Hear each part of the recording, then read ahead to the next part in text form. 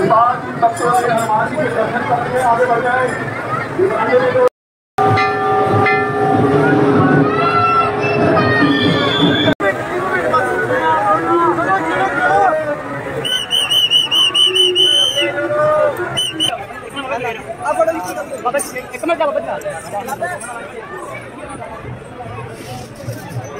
Come on, guys!